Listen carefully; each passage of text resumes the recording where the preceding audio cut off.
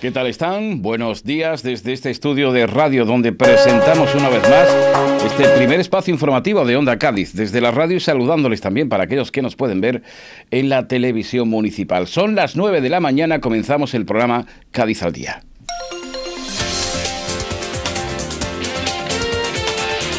Miércoles es el día 7 del mes de abril. Hoy es el Día Mundial de la Salud. ¿Qué decir en tiempo de pandemia? A seguir cuidándose y a seguir poniendo de nuestra parte. Hoy con 14 grados centígrados va a haber nubosidad, pero eso sí, se va a ir despejando a medida que el sol vaya subiendo en esta bonita jornada, que es la que se prevé, bonita estampa y fotografía la que hemos tenido y tomado esta mañana en nuestra bahía y eso sí, la circulación sigue estable a pesar de esa obra que sigue todavía en funcionamiento y cortando ese tránsito entre San Fernando y Cádiz. Ya saben, con esa obra en el pontón del río donde hay una parte de la trazada que viene hacia Cádiz que está cortada y entonces por las dos vías de regreso es por donde se circulan en ambos sentidos. Estamos en tiempo de informarles y seguir contándoles cosas, ojalá sean todas buenas. Empezamos hablando de Pedro Sánchez, que anunciaba 33 millones de personas estarán vacunadas en este próximo mes de agosto. Bueno, el gobierno, como decimos, ha avanzado que el 80% de la población estará totalmente vacunada de COVID y la pauta completa a finales de agosto. Además, lo decía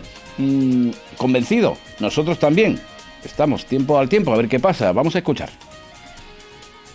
Durante la próxima semana, en España serán más las personas vacunadas con pauta completa que el número de personas que ha notificado el contagio. En segundo lugar, en la semana del 3 de mayo serán 5 millones de compatriotas las personas que estén vacunadas con pauta completa. En la primera semana de junio nos proponemos alcanzar los 10 millones de compatriotas vacunados con la pauta completa. La semana del 14 de junio llegaremos a los 15 millones de personas vacunadas. Y la semana del 19 de julio lo que queremos es que sean 25 millones de personas vacunadas con pauta completa. Es decir, queremos lograr, vamos a lograr, que el 70% de la población adulta, es decir, 33 millones de españoles y españolas, esté inmunizada con pauta completa a finales del mes de agosto. Bueno, pues estas son las previsiones del gobierno para la vacunación en la población hasta el mes de, agosto. A ver qué, qué, pasa. La provincia registra, vamos a notar, un nuevo repunte con 91 positivos tras varios días sin fallecidos, se han registrado tres pérdidas en las últimas 24 horas. Por su parte, la tasa de incidencia se mantiene en 138,1 casos por 100.000 habitantes y son 33 hospitalizados, eso es, más en una semana en una semana, ¿eh? Aunque la eh, presión asistencial, en este caso, eh, está mucho más aliviada, que a principios de febrero también han ingresado varias personas en la UCI. Bueno, pues siempre el, llamamiento que hacemos es precaución de vida. Y la mascarilla, hablaremos también de la mascarilla, porque parece ser que se retoma y no hará falta tener la mascarilla en la playa y en piscinas. Bueno, eso se ha anunciado también hace poquitas horas. Vamos a continuar, en este caso, contando otros titulares importantes, empezando por nuestra capital. Las noticias de la mañana en Cádiz al día. Queda abierta la convocatoria, abierta la convocatoria, como digo, de la empresa Procasa para la puesta a disposición de viviendas e entidades sin ánimo de lucro para proyectos sociales. Las entidades que se interesen tienen un plazo de 30 días para presentar los proyectos con los que pueden optar a un alquiler de dos años de duración con posibilidad de hacerlo prorrogar eh, para otros dos más. Y el ayuntamiento, por otra parte, Participa en la campaña Ciudad y Energía para visibilizar retos y acciones de la transición energética local, enmarcada en un proyecto europeo, Empower, que bueno, es una iniciativa donde participan también ayuntamientos, por ejemplo, de Barcelona, El Prat, Valencia, Rubí o Pamplona, en nuestro país. Y el ayuntamiento organiza ya las sextas jornadas memorialistas de abril. Será el del 14 al 17 de este mes. Se realizarán visitas al cementerio de San José para conocer in situ los trabajos de exhumación que se vienen desarrollando en los últimos años y también se presentará el libro franquismo, SA de Antonio Maestre. Y continuamos hablándoles ahora de la concejala del Grupo Municipal de Ciudadanos en la capital, Carmen Fidalgo. Bueno, pues ha pedido al equipo de gobierno la publicación inmediata, dice, del pliego de condiciones del servicio de transporte urbano de nuestra capital y bueno, eh, y que inicie esa licitación de contrato que asegura lleva prorrogado ya seis años. Vamos a escuchar a Carmen Fidalgo, como decimos, portavoz del Grupo de Ciudadanos. Bueno, pues no podemos en este momento atender a escuchar a la concejala. Sí, me dicen que sí, pues vamos a ello. Lamentamos el nulo esfuerzo por garantizar un servicio público de calidad y sostenible, así como la huella de carbono que está produciendo el Ayuntamiento de Cádiz con su inacción. Es inconcebible que una flota contaminante de autobuses siga operando por culpa de la desidia municipal y desde Ciudadanos volvemos a exigir al alcalde y a Martín Vila que se licite ya el nuevo pliego de transporte. Pues como decimos, Carmen Fidalgo era quien decía esto representando al grupo de ciudadanos. Hablamos del vandalismo que actúa contra el huerto escolar de un colegio en nuestra capital, en el Colegio La Inmaculada. Aparecía destrozado a la vuelta de esta Semana Santa. Lo lamentamos mucho. Y bueno, los desplazamientos de las personas mayores a Elcano, a Casa de eh, Casa del Niño Jesús o al Palacio de Congresos en este sentido por ponerse las vacunas está ayudando además eh, al sector del taxi por el número importante de movimientos que existe en nuestra capital precisamente para ir a estos sitios ubicados donde se están vacunando a los mayores. Y el Ayuntamiento de Cádiz invita a asociaciones de pacientes a celebrar el Día Mundial de la Salud hoy, como ya saben, que organiza eh, además lo hace de manera virtual. Y empresarios del casino, bueno, denunciarán ante la Junta el abandono, dicen, del edificio catalogado como VIC. La Asociación Pozo de la Jara, bueno, pues muestra ese lamentable estado en este inmueble cuya responsabilidad patrimonial es del Ayuntamiento de Cádiz. Y confirmada la condena al SAS por la muerte de una mujer que no fue atendida a tiempo. La mujer sufrió un infarto en el centro de diálisis en el que, bueno, no había ni médico ni tampoco había maquinaria para esa atención. Una mujer, además, como digo, de, Cádiz, de la capital. Y activadas ya las ayudas de la Junta de Andalucía para profesionales del flamenco. Desde ayer martes y con 15 días de plazo se pueden solicitar estas prestaciones para el sector en el portal oficial de la propia administración. Y el jugador del Cádiz, Juan Cala, bueno, pues ha negado, seguramente que habrán tenido cuenta de ello, eh, que no hubo ningún tipo de insulto racista ante el jugador del Valencia. Lo ha transmitido y además lo ha hecho y ha dicho que bueno se siente con la conciencia muy tranquila y ha anunciado que bueno va a emprender además acciones legales contra todas aquellas personas que han dañado su imagen sin prueba alguna por acusarlo. Y salimos un poco de nuestra capital, 9-8 minutos de la mañana, el paro baja en la provincia por primera vez en este año, 4.685 personas desempleadas menos. Cádiz es la segunda provincia, anotamos, que registra un mayor descenso en toda Andalucía y que se sitúa como la comunidad donde más baja en todo nuestro país, con 16.925 personas menos en paro que el mes pasado de marzo. Y anotamos, Airbus adelanta el fin del ERTE del CBC del puerto y esto al 12 de abril muy poquito. Eh, la factoría portuense está, eh, digamos que era la única de la división militar que tenía un ERTE en vigor y que iba a durar inicialmente hasta el 31 de diciembre. Bueno, pues este expediente se levanta debido a la llegada de nuevos pedidos y a la salida de trabajadores por traslados a Sevilla y también por prejubilaciones. Y el número de trabajadores en ERTE, hablando de ello, en Cádiz descendió casi un 20% el pasado mes de marzo. La Seguridad Social gana 3.924 afiliados respecto al mes de febrero. Y hablamos también de, bueno, Cádiz ha cerrado la Semana Santa con una ocupación hotelera del 26%. La patronal ha ofrecido valoración positiva en la hostelería respecto a lo que se esperaba por la situación de la pandemia. Y el gobierno autoriza a Navantia a crear una filial en Arabia Saudí. La nueva, empresa es una de las condiciones firmadas en este contrato para la construcción de nuevas corbetas. Y la Junta de Andalucía dice que el despido de los trabajadores del tranvía de la Bahía es una situación anómala. Recordarán ustedes que ayer lo contábamos. La consejera de Empleo, Rocío Blanco, asegura que las circunstancias no tenían por qué propiciar ese despido antes de iniciar bueno, pues la actuación de la empresa y de los propios trabajadores y vuelta segura y con muchas ganas a las aulas por parte de la Universidad de Cádiz. Los estudiantes regresan poco a poco a las clases presenciales. Bueno, pues para acabar eh, en un mes y medio ese curso, el más atípico que han podido vivir de toda la historia académica. Y la terminal de trenes del puerto de Cádiz en Jerez pasa a un, digamos, a un tren semanal, eh, a un tren semanal a uno al día, o sea, de de la semana a uno solo. El complejo ferroviario ubicado en Jerez ha multiplicado por seis, ahora si lo entendemos, su, tráfico de contenedores entre noviembre del pasado 2020 y febrero de este año.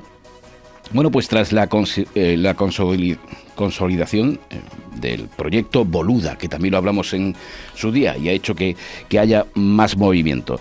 Repetimos con la UCA porque recomienda y es reconocida con el 13 premio ya, el décimo tercer premio a la excelencia de la gestión pública. Felicidades nuevamente a la UCA. Y la Policía Nacional da un duro golpe a la mayor red de cocaína. Esto en nuestra serranía, la operación Primate, que se llama, bueno, pues desarrollaba en tres fases y ha permitido la identificación y detención de 31 personas por pertenencia organización criminal y tráfico de drogas. Y vamos a cerrar en este caso mirando también a nuestra serranía que ve con preocupación el avance de la cuarta ola. Repetimos otra vez, Ubrique, por ejemplo, que pide que se salga lo justo y que reduzcan esos contactos. Alcalá del Valle y Puerto Serrano preocupación en estas poblaciones precisamente porque eh, quieren paralizar completamente la actividad por lo rápido que va el tema del contagio. Bueno, estamos en miércoles, jornada de información a primera hora, 9-12 minutos. Vamos con el primer invitado del día. La primera entrevista de la mañana en Cádiz al día. Buen momento en este caso, nos vamos a situar ahora al filo de la playa, ¿no? Bueno, pues ya quisiéramos, dirán ustedes, lo más pegadito posible al mar desde los establecimientos que en su gran mayoría se instalan para la temporada de verano que ya ha iniciado, como saben. Bueno, pues cómo lo llevan, por ejemplo, atendiendo a las medidas actuales, cuál es el movimiento actual de esos chiringuitos y esos establecimientos pegados en la costa. Vamos a contactar con la Asociación de Empresarios Costa de Cádiz. Nos va a atender Andrea Saupa, que es el secretario de la misma organización, en este caso, que ya tenemos al otro lado del lío telefónico. Andrea, ¿qué tal estás? Buenos días.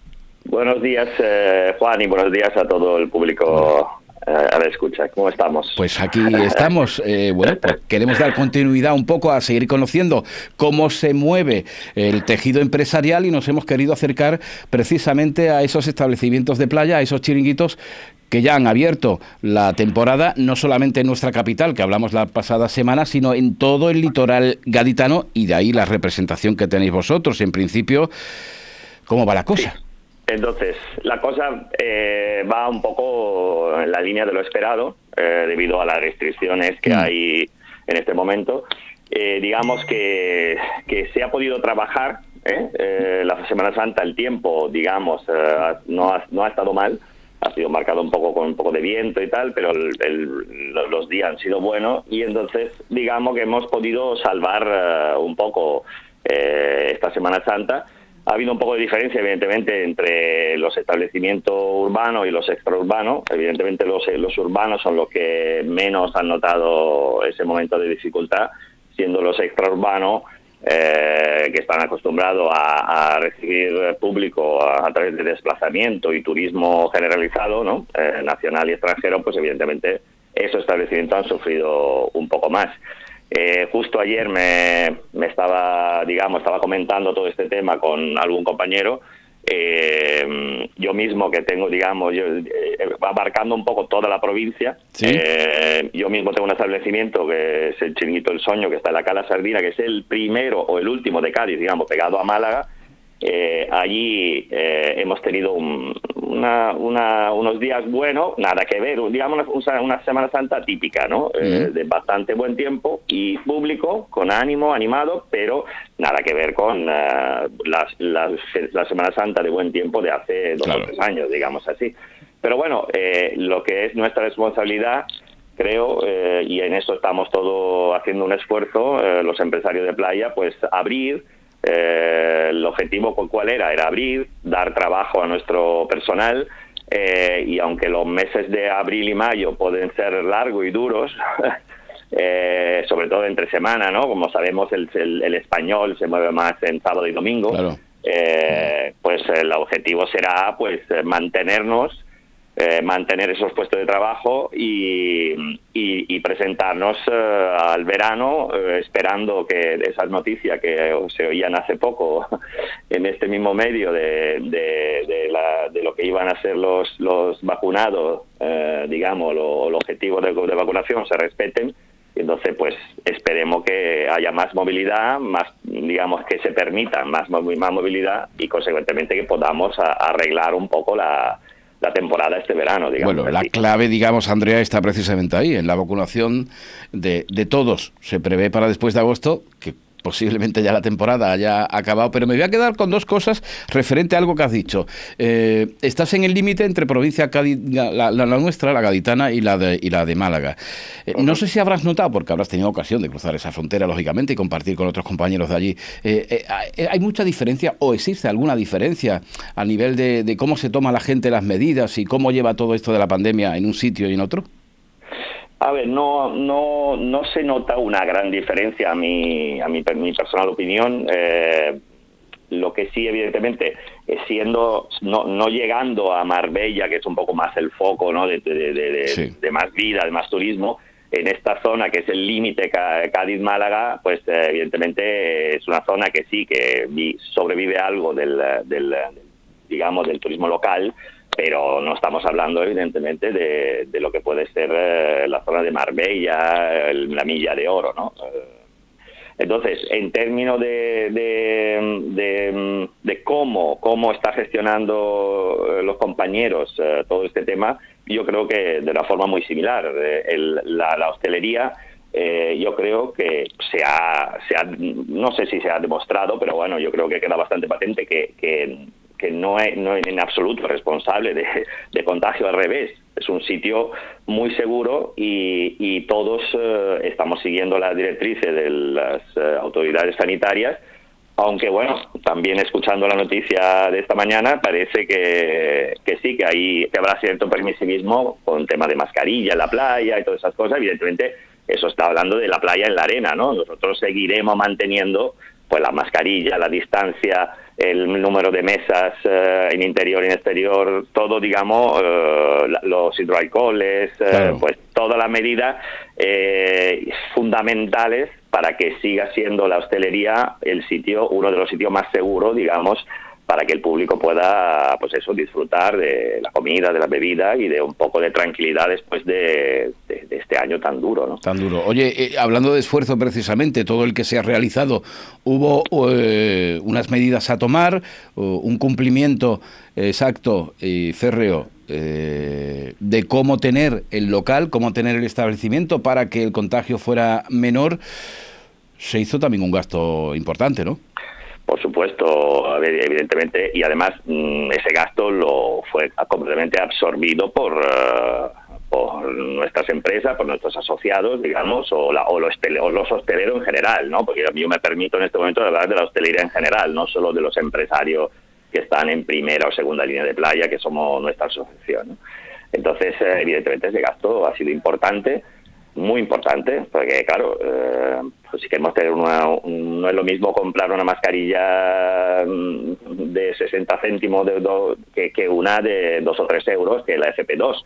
¿no? pues evidentemente si uno quiere estar seguro y asegurar a, sí mismo, a su personal y evidentemente y consecuentemente al público, que es lo más importante, pues, eh, pues evidentemente los, los, eh, las inversiones en todas esas medidas han sido muy importantes, muy importantes y, eso, mm, bueno, pues es parte del juego, ¿no? Digamos así, mm. del querer estar allí, querer mantenerse y, bueno, eh, sufrir esa, esa pérdidas o esto menor ganancia, ¿no? Vamos a decir así. Importante también, hay que saber en todo este tiempo, Andrea, contrataciones, ERTES, altas, bajas, en ese sentido, la tramitación de cada expediente, de cada trabajador, ha sido duro también y a día de hoy no sé si se tiene un poquito más claro todo este asunto.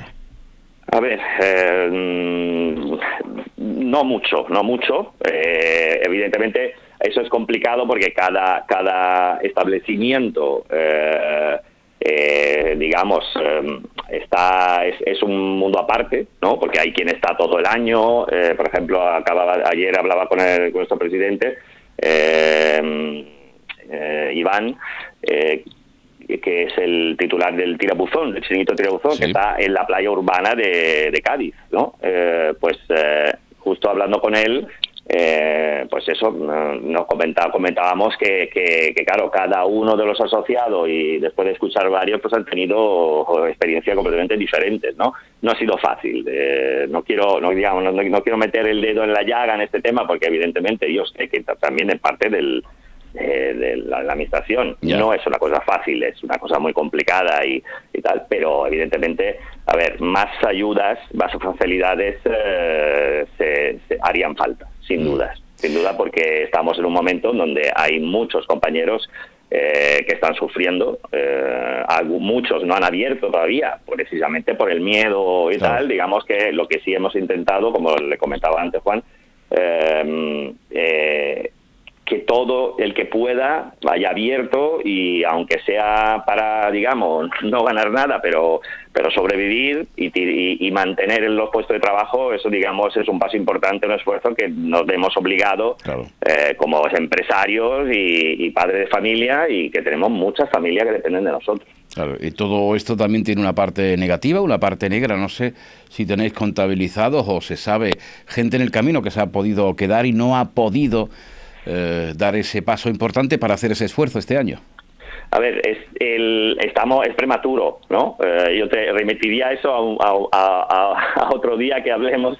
Eh, es un poco prematuro porque ahora mismo ya le, digo, hemos hablado, digo, he hablado con unos cuantos compañeros ah. a lo largo de la provincia. pero bueno, en las próximas semanas, porque no, se sabe si el, si, si el que no ha abierto no va a abrir, o, es que está esperando el mejor momento, digamos, todavía no nos ha dado tiempo confrontarnos con todos, pero evidentemente eh, yo sé que mm, muchos compañeros, eh, sobre todo, digamos, los que están fuera de la primera línea, sí, varios, eh, digamos, no han podido abrir y, lo, están viendo muy negro, ¿no? Digamos, para, para, para, volver a hacerlo. Bueno, pues vaya nuestro saludo y sirva de ánimo esta conversación que tenemos con la propia asociación para que todo salga eh, lo mejor posible. Se anunciaba que no mascarillas en la playa, eh, hace horas se ha echado atrás esa medida, con lo cual en principio sí se podrá eh, estar en la playa o en la piscina, donde se quiera en este sentido, si hablamos de, verano y de estar en el exterior bueno, pues eh, sin mascarilla. Es otra de las medidas que ha tocado dar un pasito atrás. Y bueno, hasta el día 9 del mes de mayo se tienen previsiones seguir con esas medidas y con ese cierre,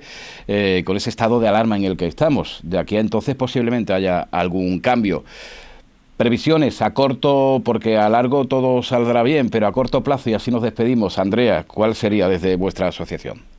Pues eh, mira, Juan, el, tema de la apertura de a partir del 9 de mayo, pues eh, esperemos que, efectivamente sea un, digamos, un estímulo para que para que haya bastante más eh, movimiento y consecuentemente bastante más visita a nuestros establecimientos, ¿no? Eh, sobre todo la gente, como en mi caso, yo estoy en el límite, pues hay muchísima gente que me ha escrito diciendo, oye, pues a ver cuándo podemos pasar. Entonces eso, evidentemente, será un golpe de aire fresco en el momento que todo este público pueda pasar, y, pero eso seguro que afecta a toda la provincia, porque sabemos que si finalmente se puede, el movimiento interprovincial es libre, pues eh, hay mucha gente que atiende a la provincia de Cádiz, que es de lo más bonito que hay, vamos, en toda España. ¿Y extranjeros? ¿Ha habido muchos extranjeros? Extranjeros bastante pocos. Eh, ¿Sí? Si no, sí, sí. Por, por ahora, digamos, lo que hay de extranjero Eh, lo que sí ha habido, bueno, no sé si te puedo robar un minuto más, pero es curioso como en, en alguna zona más que en otra, eh, véase Tarifa, por ejemplo, eh, el extranjero es el que, que, hay, es el que ha vivido, que se ha trasladado cuando ha visto que no le iban a dejar moverse, ha cogido, y se ha, cambiado se ha quedado, ha pedido, ha pedido línea fibra para poder trabajar desde, desde casa y, y, en ese sentido sí que hay bastante, digamos, bastante, vamos a decir, hay, hay cierto número de extranjeros, pero son más los que se han quedado para trabajar desde, digamos, online o smart working, ¿no? Como se dice ahora. Desde aquí, eh, claro. Sí, sí. Andrea Saupa, gracias por atendernos, secretario de la Asociación de Empresarios Costa de Cádiz nuestro litoral. Otro día, eh, a ver si en veranito o después de verano tendremos ocasión y ojalá que sigamos poniendo más color a todo esto. Gracias. Muchísimas gracias a vosotros, un saludo a todos. Un saludo, gracias. Son las 9 ya 25 minutos pasadas, nos tenemos que despedir. Y de la costa, del litoral, en el Mirador van a hablar, fíjense el cambio que vamos a dar, con los municipios de nuestra serranía de Cádiz para conocer la situación actual que vive el turismo rural, precisamente. La zona... Eh, de nuestra querida sierra. La Asociación de Turismo Rural CIT, Sierra de Cádiz, serán protagonistas y en otros asuntos con el resto de compañeros. Pausa publicitaria, se quedan con ángulo abierto, más información y entretenimiento, como digo, en una programación repleta de ganas de llevarles lo mejor de, de la vida. ¿Están de acuerdo? Hasta mañana.